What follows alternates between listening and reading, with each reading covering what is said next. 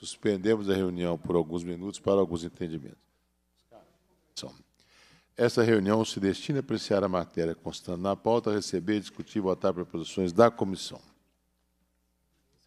Passa a primeira fase da ordem do dia, que compreende a discussão e votação de parecer sobre proposições sujeitas à apreciação do plenário.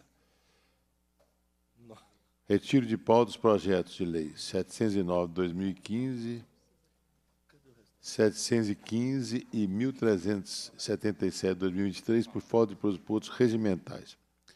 Projeto de Lei 1024-2015, em primeiro turno, de autoria do deputado Antônio Carlos Arantes, que dispõe sobre a proibição de estabelecimentos comerciais de submeter os consumidores à conferência de mercadorias após ser efetivado o pagamento da liberação pelos caixas de Estado.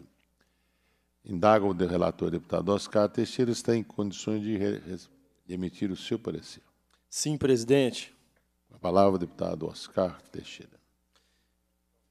O parecer para o primeiro turno do projeto de lei 1024-2015 tem a seguinte fundamentação. A matéria em estudo tem como objetivo proibir estabelecimentos comerciais situados no Estado que possam submeter consumidores à conferência de mercadorias depois do efetivado pagamento e a liberação por caixa registrador. Em sua justificação, argumenta-se o autor da proposição tem como objetivo coibir práticas constrangedoras e abusivas. Ele relata que, em determinados estabelecimentos comerciais, por vez, o consumidor, mesmo após realizar o pagamento pelas mercadorias que adquiriu, é ainda obrigado a passar por conferência de produtos frente à nota fiscal. A matéria, assim, visa impedir tal constrangimento. Em sua análise preliminar, a Comissão de Constituição e Justiça apontou que a defesa do consumidor e, eh, e a matéria de competência com, com, concorrente da União, dos Estados e do Distrito Federal. Assim, o Estado teria a possibilidade de editar leis para mimundiciar normas federais.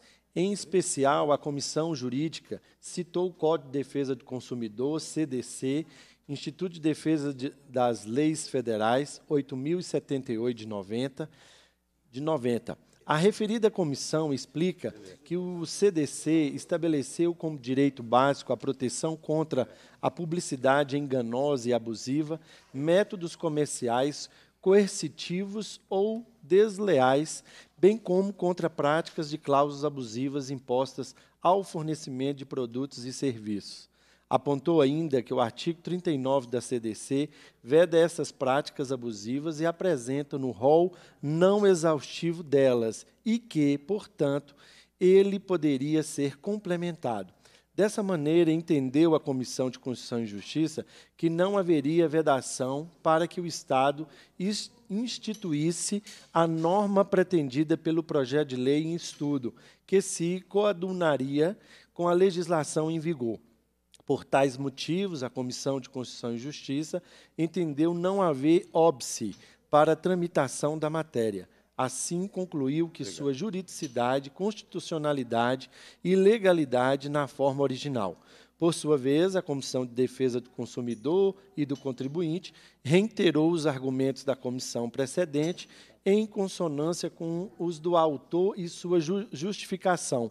Entendeu que o CDC veda exigências abusivas por parte do fornecedor, que seria o caso da conferência da revista de mercadorias após quitação pelo comprador, objeto de matéria em estudo.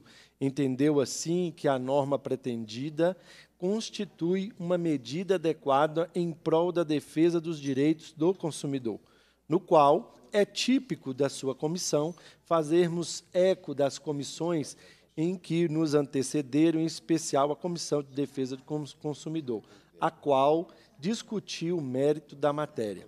De fato, a conferência pós-pagamento pode se constituir em conduta vexatória ou ao consumidor, impactando negativamente seu bem-estar. Casos lamentáveis nos últimos anos, inclusive com ocorrência de mortes, as, ressaltam a importância de se garantir a privacidade, a dignidade e a segurança dos consumidores dentro do estabelecimento supermercadistas. Ao mesmo tempo, ressaltamos que a perda por furto, cuja prevenção motiva a prática de conferência de mercadorias, é fonte relevante de prejuízos ao setor supermercadistas. Segundo pesquisas, como as realizadas pela Associação Brasileira de Prevenção de Perdas, ABRAP, esse é o setor mais afetado por perdas no varejo.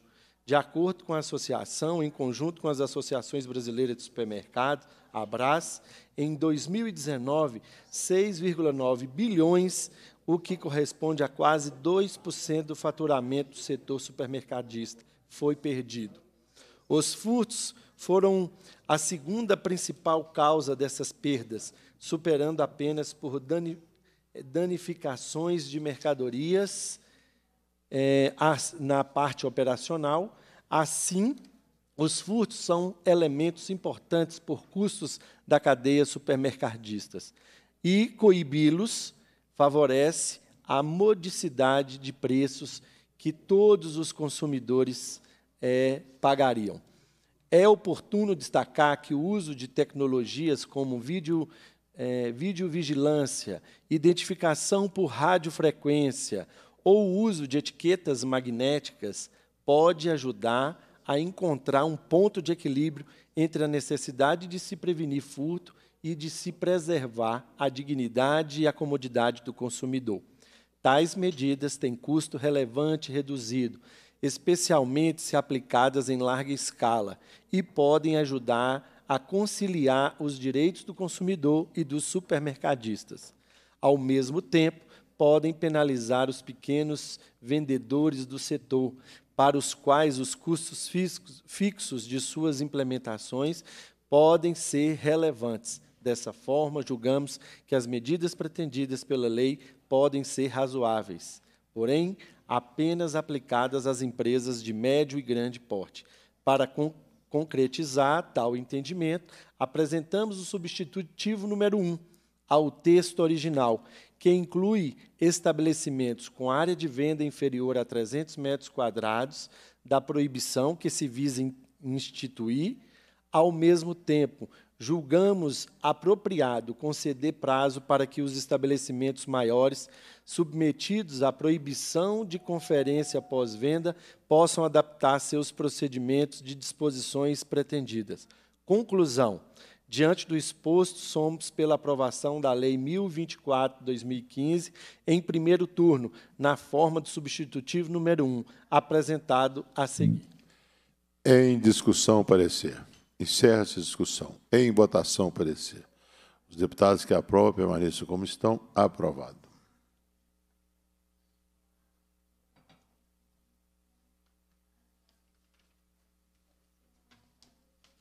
Projeto de Lei 2169 de 2015, em primeiro turno, de autoria do deputado Noraldino Júnior, que dispõe sobre a proibição e comércio de animais em pet shop e da outras providências. Relator, deputado Oscar Correia. Sim, presidente. O parecer de primeiro turno do projeto de lei 2169 de 2015, de autoria do deputado Noraldino Júnior, tem o seguinte relatório. De autoria do deputado Noraldino Júnior, a proposição em epígrafe dispõe sobre a proibição de comércio de animais em pet shops e da outras providências.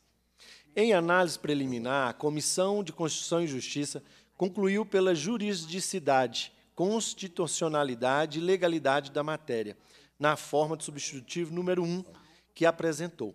Por sua vez, a Comissão de Meio Ambiente e Desenvolvimento Sustentável opinou pela aprovação na forma substitutiva número 2 de sua autoria. Vem agora o projeto a esta comissão para análise. A fundamentação, a proposição e análise em seu texto original visa proibir o comércio de animais em pet, em pet shops, para que ele se torne restrito a criadouros em sua justificação, o autor argumenta que há pet shops que atuam como fábricas de filhotes, negligenciando a qualidade de vida dos animais adultos, especialmente das matrizes e também de seus filhotes. Argumenta ainda que a venda desses animais impacta negativamente a adoção de animais, que ficam relegados a canis e centro de controle de zoonoses.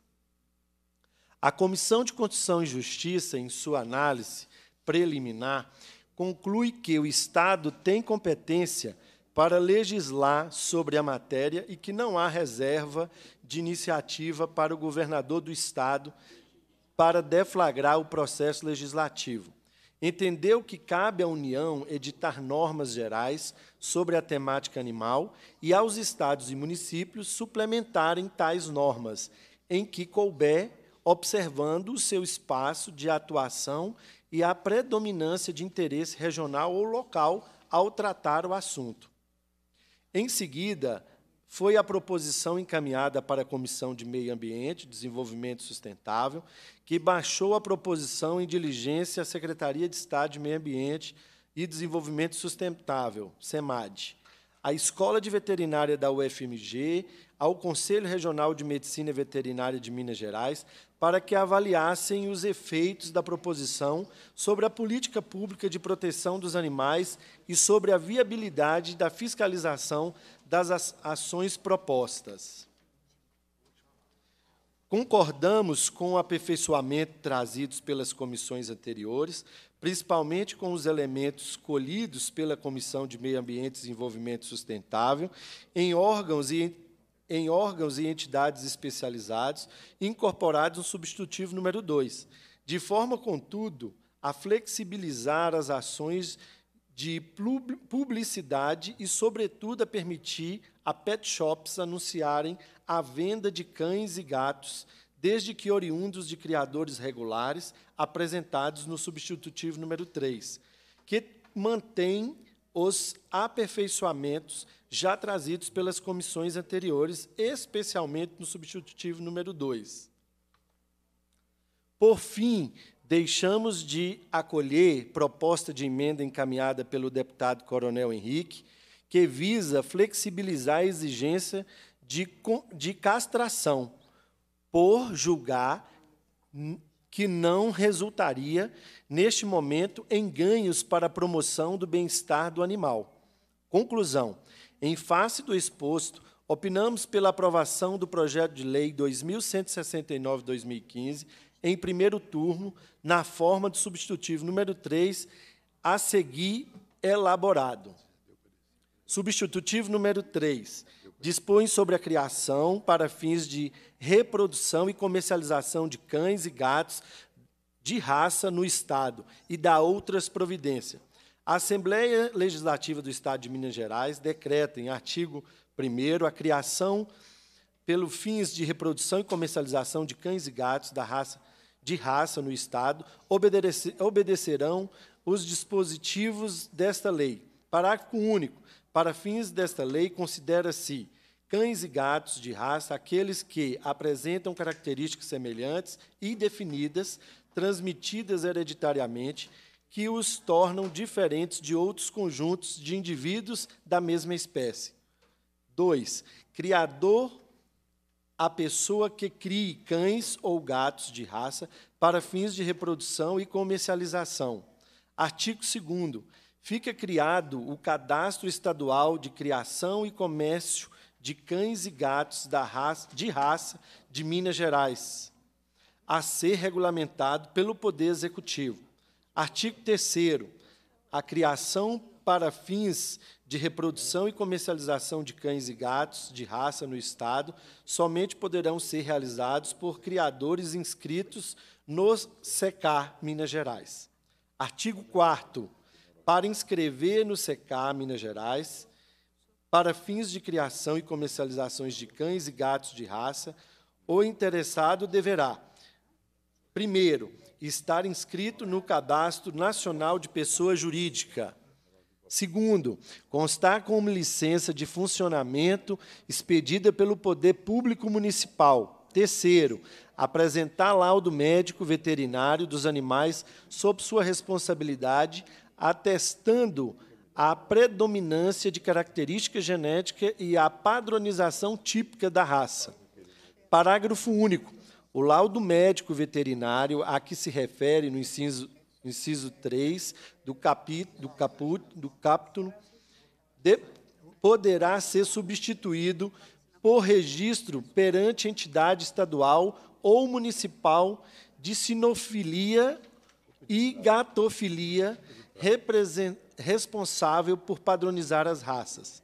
Artigo 5 os animais sob responsabilidade criador cadastrados nos termos dessa lei deverão ser registrados no SECA Minas Gerais. Primeiro, a cada animal registrado nos termos do, do COMPUT corresponderá o número de registro geral do animal RGA. Parágrafo 2 É obrigatório o registro no SECA-MG de nascimento, vacinação, óbito, venda, permuta, doação, castração e microchipagem, microchipagem de qualquer animal por responsabilidade do criador cadastrado nos, nos termos dessa lei, no prazo de 30 dias, contados da data do fato. Parágrafo 3 o criador cadastrado nos termos desta lei manterá relatório atualizado sobre cada animal sob res, sua responsabilidade, com respectivo número no RGA.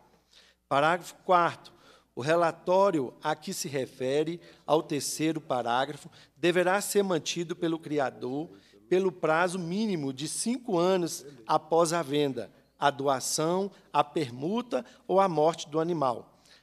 Artigo 6 Para fins de reprodução de comercialização de cães e gatos de raça, o criador cadastrado nos termos dessa lei deverá ter como responsável técnico médico veterinário devidamente inscrito no Conselho Regional de Medicina Veterinária. Artigo 7 O criador cadastrado nos termos dessa lei deverá garantir o bem-estar dos animais, é, assegurando-lhes cuidados com a saúde por meio de acompanhamento veterinário periódico, alimentação adequada e de fácil acesso, de modo a evitar a fome e a sede, liberdade para que expresse seus comportamentos naturais, cuidados imediatos ou aos ferimentos, de modo a evitar dor e desconforto, liberdade emocional, de modo a evitar, evitar situações de estresse, ansiedade, medo, condições apropriadas de alojamento, limpeza e conforto, manejo de tratamento e transporte corretos, liberdade ambiental mediante a garantia de espaço, luminosidade, temperatura e umidades adequadas. Artigo 8 regulamento, eh, regulamento estabele, estabelecerá o limite de crias por matriz sob responsabilidade do criador, de que se trata esta lei, e o intervalo entre elas, de modo a assegurar o bem-estar dos animais. Parágrafo único. Atingido o limite de crias estabelecidos na forma desse cômpute, a matriz será submetida à castração cirúrgica conforme regulamento. Artigo 9 é vedada a exposição de cães e gatos de raça para fins de comercialização em locais externos às dependências do estabelecimento de criador cadastrado na, nos termos desta lei. Parágrafo único. Excetua-se de regra prevista nesse cômpute a exposição decorrente da realização de eventos de criadores autorizados pelo poder público competente, desde que os locais sejam adequados e, e de bem-estar dos animais. Artigo 10 é vedado o anúncio de comercialização de cães e gatos de raça na internet por criador que não seja cadastrado no SECAR, Minas Gerais, e em desrespeito às disposições desta lei. Parágrafo 1 é obrigatória a exibição em anúncios de comercializações de cães e gatos de raça, do número do RGA do animal e do número do cadastro do criador anunciante. Segundo parágrafo, o estabelecimento de comércio varejista de animais vivos e de artigos e alimentos para animais de estimação, os pet shops, poderá anunciar na internet a comercialização de cães e gatos de raça de criadores cadastrados no CKMG, nos termos do artigo 1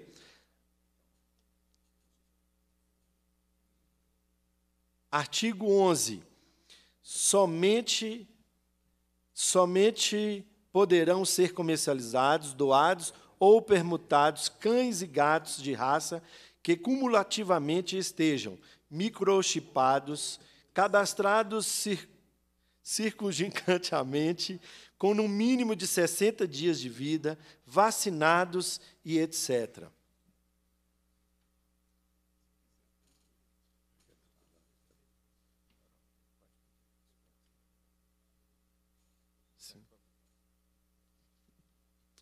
Pela ordem, presidente.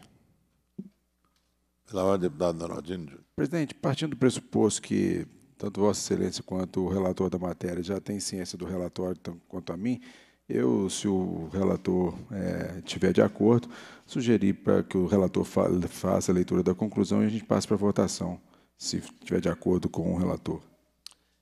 Sim, deputado. Podemos podemos partir já para a conclusão. Conclusão. Em face do exposto, opinamos pela, pela aprovação do projeto de lei 2169-2015 em primeiro turno, na forma do substitutivo número 3, conforme o substitutivo número 3, lido parcialmente e agora dispensado a leitura completa, pois já se trata de uma matéria discutida pela comissão. Em discussão, parecer. Sobre a mesa, proposta de emenda do parecer de autoria do deputado Coronel Henrique.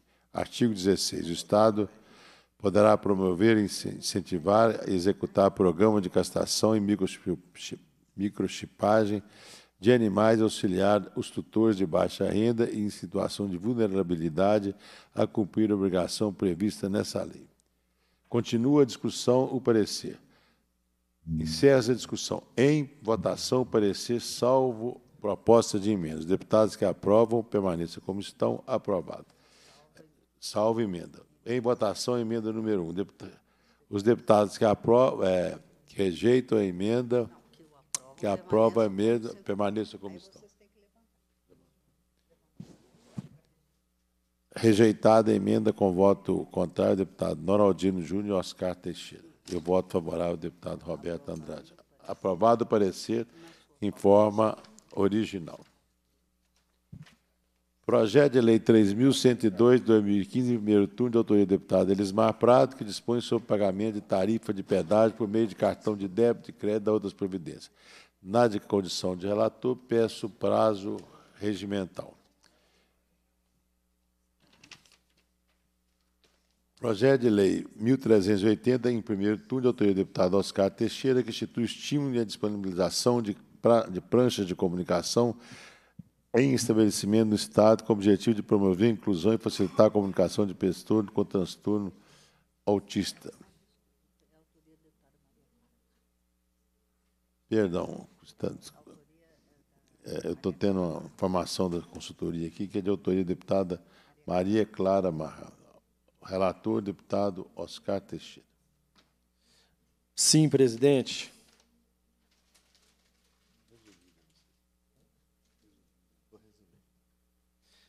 O relatório da nossa comissão, como parecer para o primeiro turno do projeto de lei 3.102,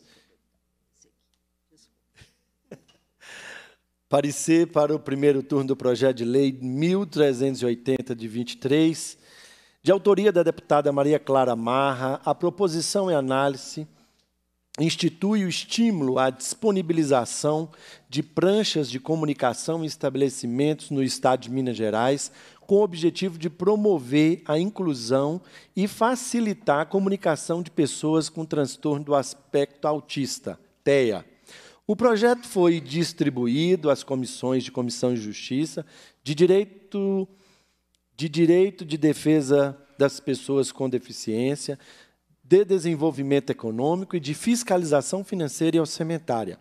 Em sua análise preliminar, a Comissão de Constituição e Justiça concluiu pela juridicidade, constitucionalidade e legalidade da proposta na forma do substitutivo número 1, que apresentou. Em seguida, a Comissão de Defesa dos Direitos da Pessoa com, Def com Deficiência opinou pela aprovação da matéria, na forma da peça substitutiva aprovada pela Comissão Jurídica. Cabe agora a esta comissão emitir o parecer quanto ao mérito do projeto nos termos do artigo 188, combinado com os artigos 102 e o regimento interno. A conclusão. Diante do exposto, opinamos pela aprovação do projeto de lei 1380 de 2023 em primeiro turno, na forma de substitutivo número 1 da Comissão de Constituição e Justiça. Em discussão, parecer. Encerra a discussão. Em votação. Os deputados que aprovam permaneçam como estão. Aprovado. Passa a segunda fase da ordem do dia e compreende discussão e votação de proposições que dispensam a apreciação do plenário. Requerimento 656.574, 2024, em turno único de autoria da Comissão de Minas e Energia, que requer que seja formulado voto de congratulação com o Banco do Nordeste pelos 25 anos da Cred Amigo, que atuando em 2.074 municípios da região Nordeste, do Norte de Minas Gerais e do Norte do Espírito Santo contribuiu para gerar renda ao beneficiar mais de 6 milhões de clientes. Em votação, requerimentos. Deputados que aprovam permaneçam como estão. Aprovado. Passa a terceira fase da ordem do dia. Passa a terceira fase da ordem do dia, compreende o recebimento, discussão votação funções da comissão. Sobre a mesa, requerimentos que passarei a lei já colocaremos em votação. Recebemos e votamos nessa mesma reunião para ganharmos celeridade nos nossos trabalhos. Requerimento da deputada Lude Falcão, que seja realizada audiência pública no município de Patos de Minas para que possamos, como integrante da Frente Parlamentar de Defesa da Regularização Fundiária, debater os mecanismos necessários para a implementação de efetiva política de regularização fundiária urbana na região. Em votação, requerimento dos deputados que aprovam permaneçam como estão aprovados. Requerimento do deputado Dr. Jean Frei. O deputado subscreve, requer que seja realizado debate público sobre os desafios dos municípios mineiros quanto à exploração do lítio, com impactos ambientais e sociais e perspectiva para a instalação de sua cadeia produtiva no Estado. Em votação, requerimentos. Deputados que aprovam, permaneçam como estão. Aprovado. Deputada, requerimento da deputada Ana Paula Sequeira. Deputado que subscreve, requer que seja realizada audiência pública para debater o projeto de lei 731 de 2023 de autoria dessa parlamentar que trata sobre serviços de saúde estética prestado por profissionais de nível superior da área de saúde. Em votação, requerimento deputados que aprovam permaneçam como estão aprovados. Indago os deputados presentes se alguma matéria se apresentada sobre a FAB. Pela ordem, presidente. Com a palavra, deputado Oscar Teixeira. Gostaria aqui de cumprimentar mais uma vez o deputado Noraldino Júnior, que nos honra aqui com a presença nesse momento tão especial. Também aqui o nosso deputado Roberto Andrade. Caríssimo deputado, o ano passado, nossa comissão ela realizou uma audiência pública na cidade de Janaúba, em que a gente foi de, debater a questão do desenvolvimento econômico naquela região. E assim, lá ficou claro que algumas cidades elas têm uma vocação na confecção. E essa, e essa vocação ela está sendo agora, é, através do nosso mandato, a busca de parcerias, e nós encontramos a Favenorte, que é uma faculdade lá naquela região, que atende os municípios de Monte Azul, Mamonas e Espinosa, e a Favenorte aceitou um desafio de executar o projeto de mãos dadas com quem mais precisa. Como funciona isso? Estamos aqui falando para o Estado inteiro e, diante disso, é uma ideia do nosso mandato, a busca de parcerias para que possam executar o que nossa comissão encontra de fragilidades e de, que, de, de possibilidades para ajudar. Então, nós iremos, através da Favenorte, ofertar no município de Monte Azul um curso de empreendedorismo para as pessoas que trabalham com confecções. Fiquei muito feliz, presidente, porque a nossa a Favenorte, ela como atua na região, uma entidade privada, e ela aceitou essa essa parceria e a gente vai ofertar no dia 16 do 5 a consultoria com o empreendedor Ralph Camargo, que vai acontecer na cidade de Monte Azul no dia 16 do 5, de 18 às 22 horas, com o público-alvo, empreendedores das confecções. O que, que nós queremos com isso? Nós queremos mostrar para os empreendedores de confecções que o, como funciona abrir uma empresa jurídica, como criar sua própria grife, como instruir de como pegar um recurso a nível de bancos, de financiamento, para implementar novas etapas dentro do seu empreendimento, como criar a possibilidade de crescimento, que assim gerará emprego e renda, isso na primeira etapa. E nos dias 13 do 6 e 14 do 6, nós vamos ofertar para os mesmos empreendedores das confecções uma instrução, uma consultoria com o design de modas formado aqui na UFMG, filho da região, Manuel Ferraz. O Manuel Ferraz, junto com um estilista, o Rami, estarão ofertando cursos de atualização para os diversos momentos da moda durante o ano. Igual inverno, é, outono, inverno, né? Nós no a parte de, de verão, a parte de outono, a parte de é, infantil, infanto, infanto juvenil, adulto e, e femininos. Então a gente vai ofertar isso para que esses empreendedores possam se atualizar, possam ver as novas tendências, as paletas de cores e assim poderem ter uma instrução para conseguirem oxigenar dentro do mercado. E em Espinosa, no dia 23 do 5, com o mesmo empreendedor, Ralph Camargo, vai acontecer de 18 às 22 horas. Também, já que chamamos empreendedores de Espinosa, que são muitos, Espinosa tem destacado nas confecções.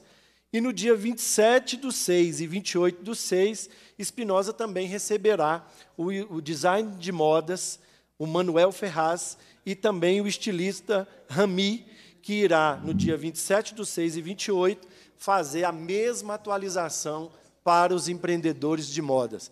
Com isso, nós vamos dar uma equidade para os pequenos e os grandes poderem se encontrar e, assim, na troca de experiência, poderem criarem e crescerem dentro do mercado de moda na região. Eu acredito muito que essa nossa comissão está dando uma contribuição para uma região altamente profissional e muito importante para o crescimento do extremo norte de Minas. Estou muito feliz, presidente, mas estou aqui para anunciar que experiências como essa podem se multiplicar dentro do Estado todo e assim a gente garantir a possibilidade das pessoas crescerem, sobretudo os pequenos empreendedores que nesse país é, é, são responsáveis por muitos empregos, a geração de oportunidades e é dessa forma que a gente acredita. Muito obrigado pela oportunidade. Muito obrigado. Com a palavra, o deputado Noraldino Júnior. Senhor presidente Roberto Andrade, caro colega deputado Oscar, eu quero fazer um agradecimento aqui de público pela sua brilhante relatoria em relação ao nosso projeto de lei e o apoio também do deputado Roberto Andrade para que esse avanço, histórico avanço em Minas Gerais possa se tornar realidade e possa ser aí um fator motivador para que essa alteração legislativa alcance todos os estados. É, nós vivenciamos aí um cenário muito complexo em todo, não só no estado de Minas Gerais, mas também todo o Brasil em relação aos animais.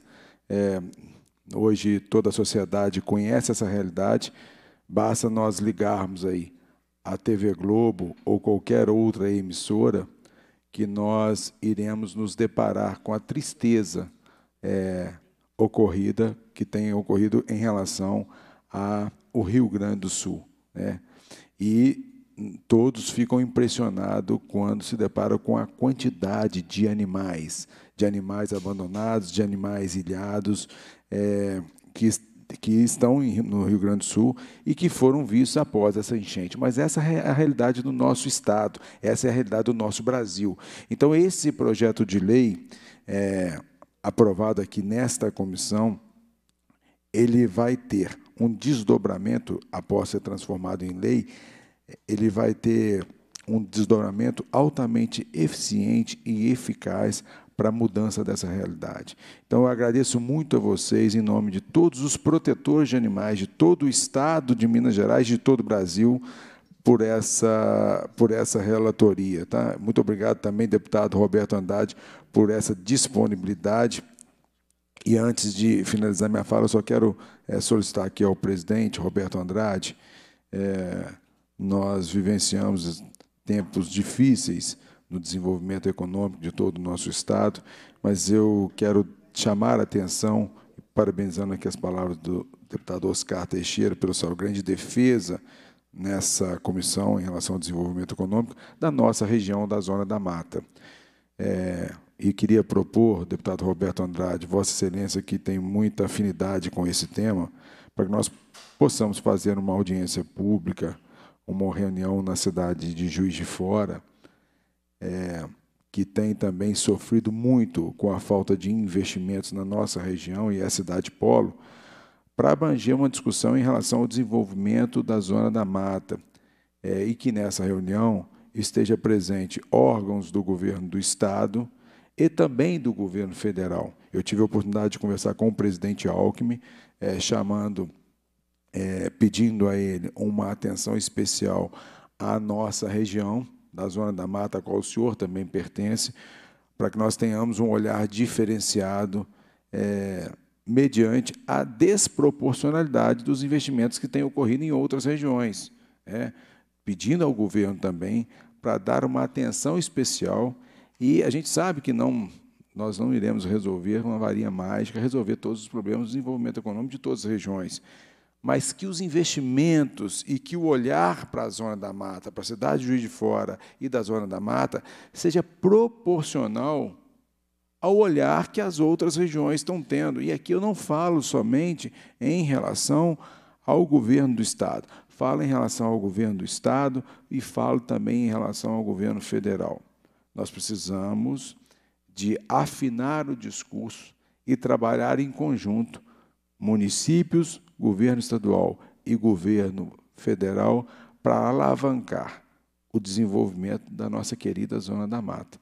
É, é, então, o senhor, como um parlamentar que tem grande atuação e faz um brilhante trabalho, é, nesta, não só nesta comissão, mas também em prol da Zona da Mata, acho que nós precisamos de é, dar mais um passo, é, cobrar mais de quem pode ajudar, é, que a atenção, eu não digo seja é, diferente, eu digo seja proporcional. Porque nós, se nós fizermos uma avaliação, deputado Roberto Andrade, deputado Oscar, é, a atenção dada ao desenvolvimento da zona da mata, e aí eu falo pelos governos é desproporcional a outras regiões do Estado que merecidamente têm encontrado caminhos para o seu desenvolvimento econômico. Então, o que nós precisamos é tirar é, Juiz de Fora e toda a região dessa estagnação. Nós temos um, um aeroporto é, regional, aprovamos agora a doação do imóvel para a ZPE, enfim, nós temos aí é, uma reunião, uma região muito promissora, é, com proximidade aos grandes polos de desenvolvimento econômico do país, mas que merece, né, deputado Roberto, uma atenção, é, uma melhor atenção de todos os entes, para que nós possamos mudar essa triste realidade que a Zona da Mata vivencia hoje. Muito obrigado.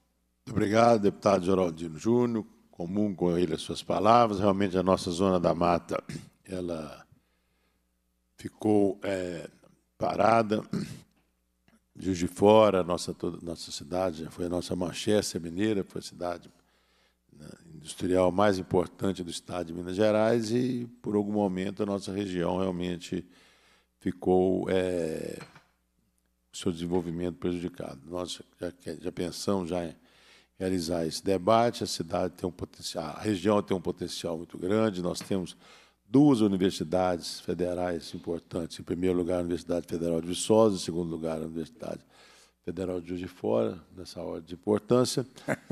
Mas, é, realmente, as, as, as, próprias universidades também são fomentadoras de desenvolvimento, né? com geração de tecnologia, geração de mão de obra é, qualificada. Enfim, nós temos todo né? Nós temos uma localização privilegiada perto dos grandes centros consumidores, que seria Rio de Janeiro, São Paulo, dentro do próprio estado de Minas Gerais. Enfim, nós precisamos realmente fazer esse debate, coisa que a gente já tem isso é, pensando, e a, e a, sua participação, como todos os deputados né, da Zona da Mata, também, também com a ajuda dos colegas de outras regiões, também a gente promover esse grande debate.